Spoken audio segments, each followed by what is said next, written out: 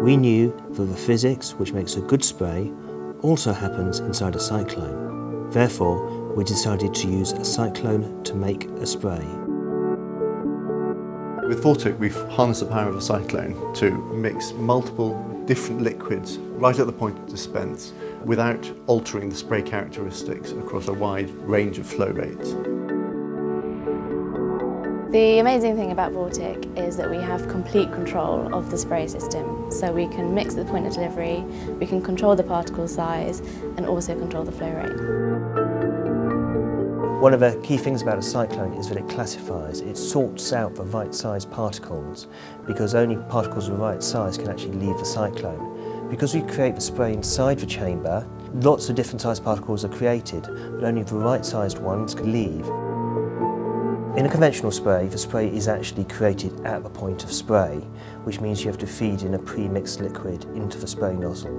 With a Vortik system, the spray is actually made inside the cyclone chamber, so that means we can mix inside this chamber as well as create the spray. That means you get very little wastage of chemical. Uh, it, it is mixed and it's dispensed, and then you can go on to the next formulation in a heartbeat.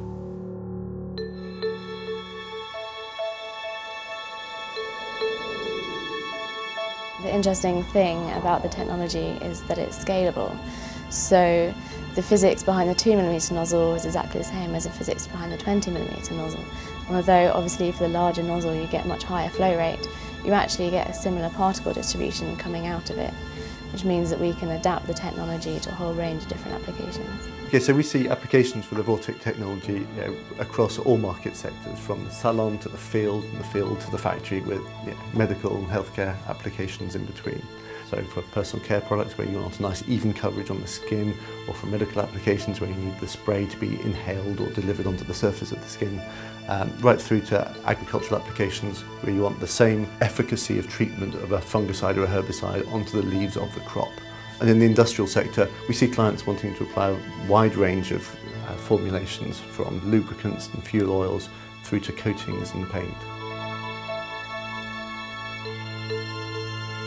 So what we have here at Cambridge Consultants is critical mass. We've got over 400 world-class designers, scientists and engineers.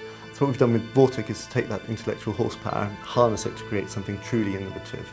This is a brand new way to mix and spray liquids.